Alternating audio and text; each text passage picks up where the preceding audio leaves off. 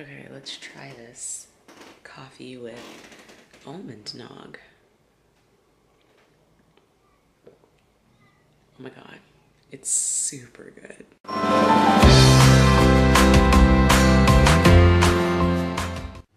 Good morning. Hi, it has been a hot minute. I know.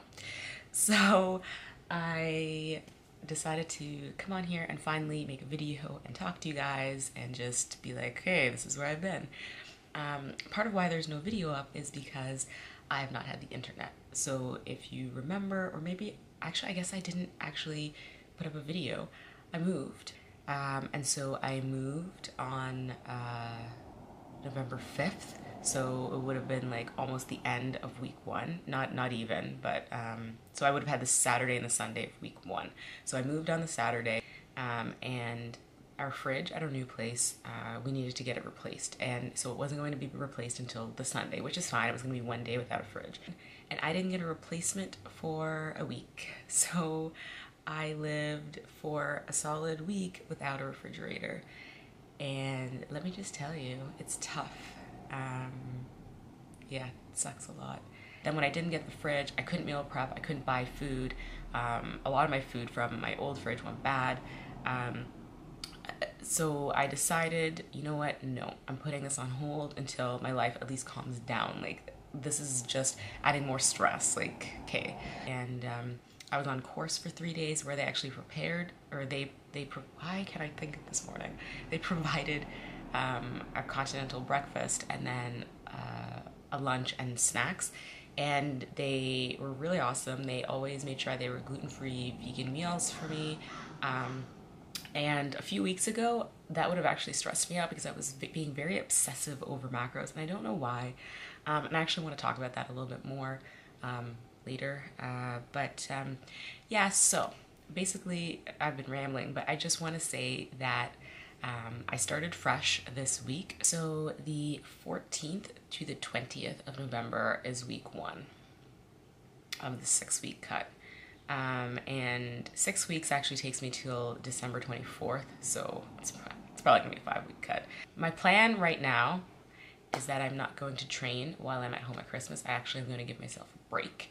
Um, I train every time I'm there. I go, I go to the gym. I might take, I might try to fit in one or two workouts, but I always like stress about working out um, and fitting it in and go to the gym and everything. And um, last year I did that for the first week. I was being pretty obsessive about it. And then the second week I um, did not go to the gym. I didn't gain weight and because I was not binge eating. And secondly, I had a lot more time with my parents and with my niece and nephew. So, um, but anyway, so I'm, today's my compressed. I'm off. I'm actually heading to the gym really soon. Um, so I'll take you through that with me and then uh, yeah, I want to come back and talk a little bit more about like some food issues and whatnot and how I'm going to continue on with this cut. Um, this morning uh, for my pre-workout, I'm obviously having coffee. I had a bowl of multi-grain Cheerios and I'm going to have a banana. Um, and um, yeah, I'm gonna go smash some legs. anyway, I will uh, keep you guys in the loop and um, bring you along type thing as long as it's not busy. And uh, yeah, and then and then nothing. I will talk to you guys later. As you can see, based on how I look and the fact that I'm still in a robe, I just got up like, uh, know, 30 minutes ago, so not braining so well this morning, but uh, I will definitely chat with you later, and I really hope you enjoy the rest of this video, okay? Bye, guys. I decided to start my day off with one of my absolute favorites, the reverse hack squat. This wasn't actually in my programming for today, or well, squats weren't, um, as my focus was sumo deadlifts and the hip thrusters. But one of the reasons I like to uh, throw in a few sets of these is that it gets my glutes fired and I can feel them and engage them so much more in my other exercises. So if you are someone who finds it difficult to engage your glutes in, let's say, hip thrusters, I would highly recommend doing this. Slow, deep, and controlled.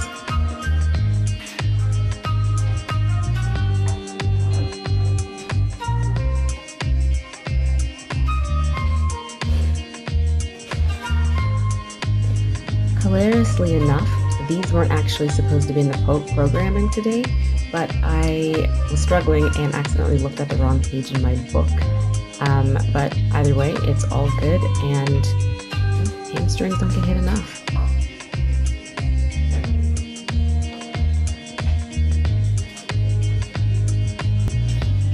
And the main event, the sumo deadlift. I was feeling very strong today. Uh, mind you, I only got up to 185 pounds, but for me, ever since I sprained my wrist, I have struggled to pull any kind of weight.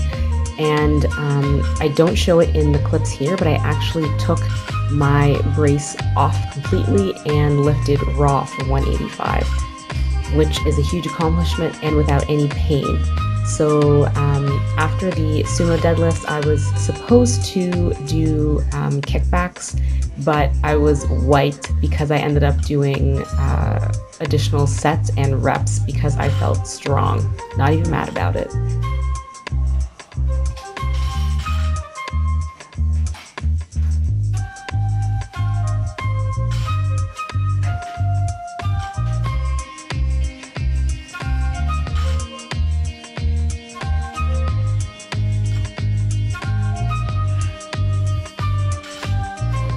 And this is no surprise, hip thrusters. I said it once, I'll say it again. If You want to grow your butt? Hip thrusters, kids. Engage that ass.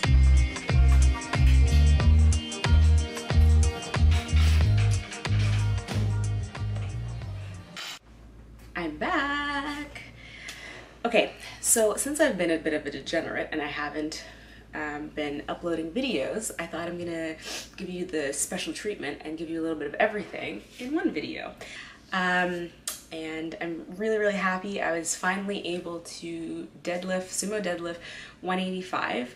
Um, a, it's because of my strength it's going back up, but also um, after I sprained my wrist, um, obviously pushing movement was I couldn't do and I didn't train upper body, but with uh, deadlifts, um, it affected my grip. So um, I was struck because like you're still engaging these muscles. So I wasn't able to A, grip the bar very well and uh, just in general, the weight pulling down on my wrist um, would make it ache. So I'm finally getting up to that and uh, you'll see in the, you see or saw in the footage that um, I did it without straps. Ramble over. As you can see, I'm in my new kitchen. Um, it's a bit of a mess right now. So we don't have as much counter space as we did before. Um, so we have these sort of exposed um, shelving. And right now it's just, it's a little bit messy because I'm still trying to figure out how I'm going to do it. Um, but for now, this is how it is. Also, I don't have I don't have my I don't have a dining room table anymore or a kitchen table um, because the one from before wasn't gonna fit so I still need to figure that out but honestly I'm just taking it one day one week at a time I'm not concerned but I went to the grocery store after the gym and I wanted to show you what I got. So this is my grocery haul for the week. Um, I have been digging the hell out of mushrooms so I picked up a container of creminis and one of Baby King uh, oyster mushrooms. I also picked up this, it's red and yellow beets cut up really small. It's like pre-done. There's also a lemon oil sauce in there, but I don't, I won't use that. I just basically, I want to peel and cut up beets to be honest. And this makes my life so much easier. Uh, okay, so for a while I was doing veggie ground and I was really loving it. Um, but I decided I need a break, so I'm back to my low-fat uh, Blue Menu PC tofu. I picked up four of these packages. Also, I got, these need to go in the freezer. Um, it's frozen asparagus uh, because I want to make cream of asparagus soup. But Asparagus is expensive, especially right now. It's like 6.50 or something per bunch. Nah. So I got these. I think they were $3.33 a bag. Um, so they're on sale. So I got three bags. Cucumber, some white onions. I got this jalapeno Allegro cheese. Tastes delicious. Um, I find the, the just the original one tasteless and hard and rubbery, but this one's actually really, really good.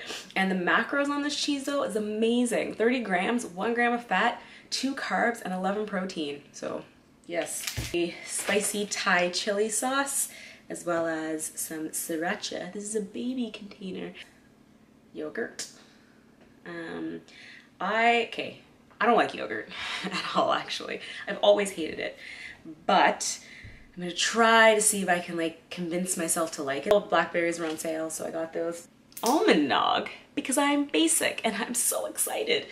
Um, I actually hate eggnog. I remember when I was a kid, my dad would be all over it. Mm -mm, no thank you, but this like holiday slash whatever nog is actually great. I like to have it in my coffee. Earlier I touched on it just briefly and I wanted to say that um, I realized this past week or past two weeks that I've developed some weird food issues. During prep, I had to be pretty strict with my food, actually very strict. Um, you know, I count everything down to the gram and um, I there are things that I'm like, oh, it doesn't, yes, it fits my macros, but it's not worth it, right? Like there were just, in my head, they weren't worth it. For a reason, I've continued that mindset. So I actually picked up bananas for the first time in months last week. Uh, and I just ate a banana. And before, like, it was honestly, like, it was kind of driving me crazy. I'm like, that's so high in carbs. Yes, it is, it is high in carbs and whatnot, but A, my food's higher, so I have the carbs to play with, but also, like, how bad is it that I'm afraid of a banana? Okay, no, that's, that is not flexibility. That's actually throwing me back to those weird um, food aversions I had, you know, back in the day where I'd avoid food groups and whatnot because I was worried about getting fat. I enjoy flavorful foods. I enjoy just making a recipe and, you know, and, and eating. And it was getting complicated because I was stressing out over macros, how much was in here, how much onion did I use, how much peppers did I use. And I was like, whoa, okay, this is not competition prep. Um, if you are someone who in and out of off season, you track everything down to the gram and that works for you, by all means, please go ahead and do so. But for me, I don't like to just eat steamed broccoli, a blob of protein and some rice or potato in a carb that's whatever. Sometimes I want to make, you know, a stuffed pepper with a variety of veggies and beans and not have to measure every single ingredient. Just guesstimate it's a healthy food. Um, so anyway, yeah, I have been uh, very actively choosing foods that I like and that are good for me, but that for whatever reason I've been avoiding. Um, so yeah, just kind of trying to do that again. I've definitely been eating very healthy foods over the past week and a half, past week. Um, really healthy and I've been loving it. Um, but it's because I've been allowing myself to have, like I said, these foods that were like off limits, like apples and bananas and and I don't know, like rice. It's just really weird and I'm not not proud of it, but it happened. Um, and uh, yeah, so just trying to do that. I obviously we'll be continuing with the cut and the next video I'll talk more about that. Um, I just kind of quickly wanted to say that so I will be following a macro slash intuitive eating approach through the rest of this cut and honestly up until I start uh, prepping for a show again. Um, just enjoying my life, you know? I mean, I want to stay within a certain body fat range and and whatnot, but at the same time, like, okay, competing is not the only thing that matters. My body fat is not the only thing that matters. And I just, like I said, I took a few steps in the direction that I've come from and I don't want to be there. So if you are someone who is struggling at all with that, you know, you're avoiding complete food groups because fat or carbs or whatever, do not do that. Um, yeah, there are good and bad times maybe to be picking them, but like enjoy life, enjoy food. But um, I will chat with you all later. Bye guys.